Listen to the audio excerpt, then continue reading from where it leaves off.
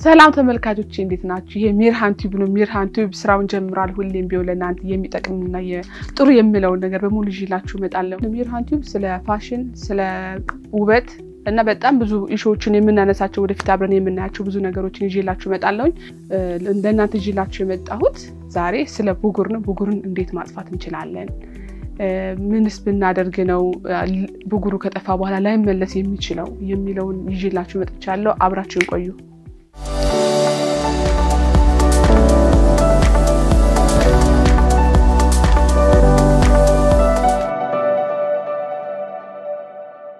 ሰላም ተመልካቾቼ ተመልሼ መጥቻለሁኝ። ያው ቻናሌ subscribe፣ share፣ like በማድረግ ቤተሰባዊነታችን እናጠናክር እላለሁኝ። ብጉር እንዴት እንደሚመጣ ያው ብዙ ጊዜ በጉርምስና ወቅት ሊከሰት ይችላል።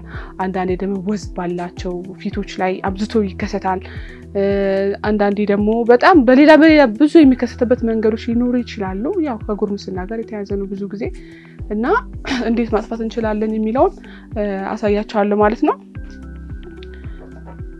የመረጥኩላችሁ ብዙ አይነት የብጉር ማጥፊያዎች በጣም በብዙ ቦታዎች ላይ ተነስተዋል። እንደዚህ እንደዚህ እንደዚህ ተብሎ በጣም ብዙ የተነገሩ አሉ። እኔ ግን በጣም special የሚለውን እና ቶሎ ለውጥ ማየት እንችላለን እንዳይመለሱም ያደርጋሉ ብዬ የማስባቸውና በጣም ከብዙሃን መርጬን ያመጣውላችሁ ማለት ነው እና ብዙ ሰው ሞክሮታል። በጣም ለውጥ የታየበት ነገር እና በጣም ጥራቱን የጠበቀ የማይጎዳ ቤት ውስጥ ማዘጋጀት የምንችለው በጣም ቀላል ነገር ነው ይዤላችሁ የመጣሁት ይዤላችሁ የመጣሁት በመጀመሪያ ንጹህ ማር አለ። ንጹህ የተፈጥሮ ማር እና ነጭ ሽንኩርት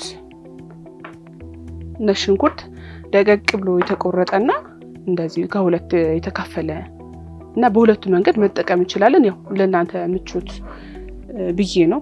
የምትፈልጉትን አይነት መጠቀም ትችላላችሁ። ስንጀምር ግን አሁን ይሄን ደቃቁን ብጉር ያለበት ቦታ ላይ በመያዝ ወይም በመቀባት ይሄኛውንም እንደዛው ይሄኛው እንደዚህ ጫና አድርገን ብጉር ያለበት ቦታ ላይ ለምሳሌ እዚህ ጋር ብጉር ቢኖርብኝ እዚህ ጋር ጫና አድርጌ በመያዝ ወይም ደግሞ እንደዚህ በማሸት እንደዚህ በማሽበት ሰዓት ብጉር ያለበት ቦታ ላይ እንደዚህ እያዞርኩ ማሸት ትንሽ የመቆጥቆጥ ነገር ሊያጋጠመን ይችላል። ቢሆንም ግን በጣም ጥሩ እና ፋስት መንገዱ ነው እና ደግሞ ማይጎዳ ነገር ስለሆነ ነው እና በሁለቱም አይነት መንገድ መጠቀም ትችላላችሁ። በደቃቁም በዚህኛው ማለት ነው እና ከተቀባን በኋላ 15 ደቂቃ ይበቃናል። ያው ፈጣን ለውጥ እንድናይ የምንፈልግ ከሆነ በቀን ቢያንስ ያለመሰቸት ሶስት ጊዜ ብንጠቀመው በጣም ፈጣን ለውጥ እናመጣ እንችላለን። ይሄኛው አንደኛው ነገር ነው። ሁለተኛው ደግሞ ንጹህ ማር ንጹህ ማር መቀባት በየትኛውም ጊዜና ሰዓት ምቹ ጊዜ ባገኛችሁ ሰዓት በሙሉ ንጹህ ማር በቃ በዚህ በጣም የሚገርም ለውጥ ማየት እንችላለን ማለት ነው።